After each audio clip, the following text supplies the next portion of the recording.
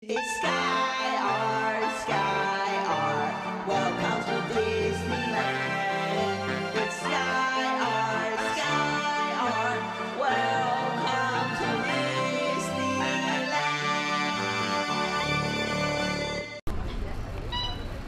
So here's a, a sign, and then here's a river, and here's a bunch of chairs. Now it's just for people who didn't know it's closed or people like me want to come here film the progress.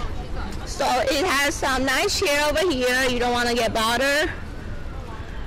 You want to just come take a seat. Okay? So here's a view of the Big Thunder. I, I didn't know it's closed today. A lot of people must be disappointed. Look at that big mountain.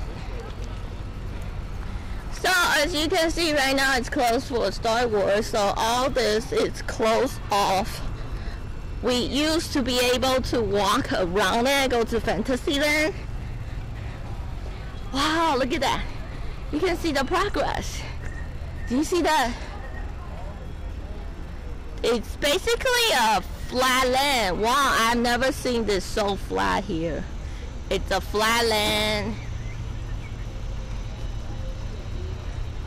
See that? It's a flat land and then it's all like dust and mud and sand. So if the ride's closed, basically there's nothing to do here. And a lot of people probably don't know. So this is nice chair for you to sit here, enjoy the river, even though nobody can get on the river.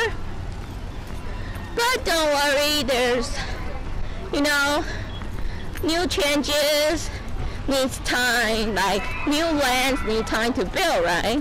So we're very looking forward to the Star Wars land, which might be finishing in a couple years.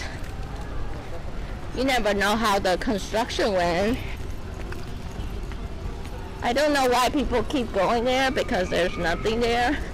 So we're gonna go to Fantasyland. Oh, look at this horse horse track thing.